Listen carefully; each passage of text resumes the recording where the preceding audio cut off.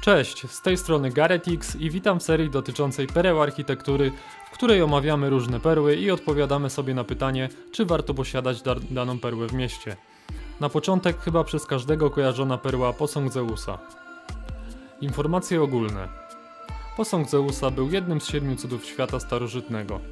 Jego wspaniałość inspirowała całe pokolenia greckich żołnierzy. W grze Forge of Empires perła ta należy do epoki brązu. Zapewnia ona tylko jeden bonus. Premię do ataku i obrony w czasie atakowania.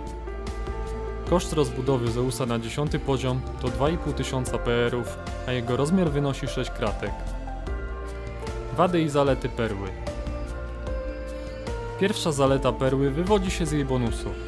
Na początku gry toczymy wiele walk na mapie świata. W pewnym momencie w walkach tych tracimy za dużo jednostek. Wtedy z pomocą przychodzi nam posąg Zeusa. Oczywiście tyczy się to tylko ludzi, którzy na mapie świata obrali taktykę bitewną, a nie ekonomiczną. Drugą zaletą perły jest jej rozmiar. 6 kratek stawia Zeusa w pozycji najmniejszej perły architektury w grze. Do wad Zeusa możemy zaliczyć to, że daje ona tylko jeden bonus oraz że ma wysoki koszt rozbudowy na 10 poziom. Notabene koszt ten wynosi 2500 PR-ów, tak jak w przypadku pozostałych pereł z epoki brązu, chociaż zapewnia ona tylko jeden bonus.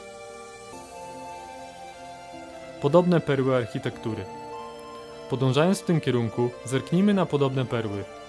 Katedra Akwizgrańska, oprócz bonusu militarnego, przynosi również dochód w postaci złota. Castel de Monte zaś bije na głowy swoich rywali z kategorii pereł militarnych, dając też dodatkowe źródło punktów rozwoju. Podsumowanie. Podsumujmy zatem całość rozważań. Czy warto posiadać posąg Zeusa w swoim mieście?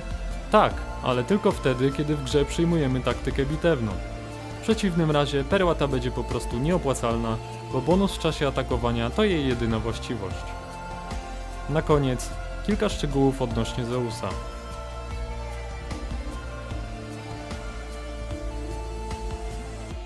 Dzięki za obejrzenie tego odcinka i zapraszam do obejrzenia kolejnego.